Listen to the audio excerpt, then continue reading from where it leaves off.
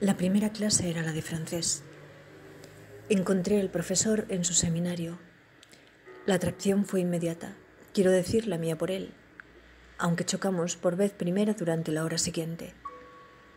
Belmont iba a montarnos el nombre, pero yo le dije que Marie no me gustaba y que en cualquier caso me podía llamar Camino. A partir de ahí siempre me llamará Chemin, lo que me resultaba erótico porque adoraré cómo sonaba en sus labios cada vez que lo pronunciaba. Mi teoría era la siguiente. Quería asegurarme una segunda crianza para acostumbrarme a pensar en una lengua nueva, sin la violencia machista, la del lenguaje. Hoy sé que lo era, que me dominaba.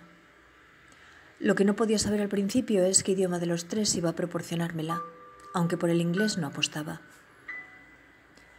Tuve menos suerte en la clase de alemán.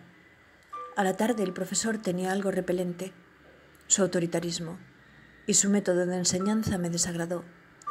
Con Queta, la profesora de inglés, la cosa no mejoraba, y además estaba la posición de las mesas en el aula.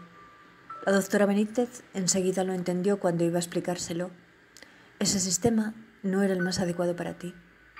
Estaban los otros y yo no tenía modo de sustraerme a ellos, lo que en francés era un poco más posible, porque las mesas tenían otra colocación, no formaban una U, y el aula era más recoleta.